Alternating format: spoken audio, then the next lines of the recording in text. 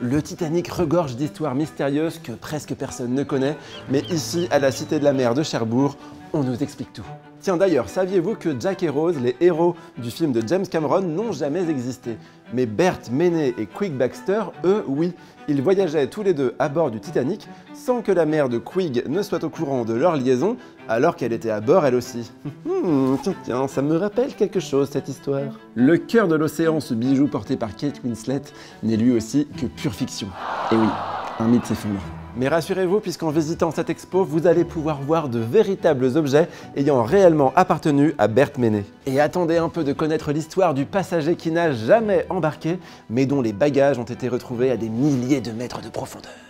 Il s'appelait Howard Irwin, c'était un Canadien émigré aux États-Unis. Après un voyage en Angleterre avec son ami Harry, ils devaient tous les deux rentrer chez eux en embarquant sur le Titanic. Sauf qu'Howard n'a jamais embarqué. Quand l'accident a été annoncé, sa famille a cru qu'il était mort. Mais imaginez un peu leur tête lorsque quelques semaines après le naufrage, ils voient leur fils rentrer à la maison. Mais le plus mystérieux dans tout ça, c'est que les bagages de Ward ont été retrouvés dans le champ de débris autour de l'épave du Titanic. Venez résoudre ce mystère et bien d'autres en visitant l'expo temporaire de la Cité de la Mer de Cherbourg dédiée aux objets du Titanic. Attention, elle dure jusqu'en 2025, donc venez vite, parce qu'après, il sera trop tard.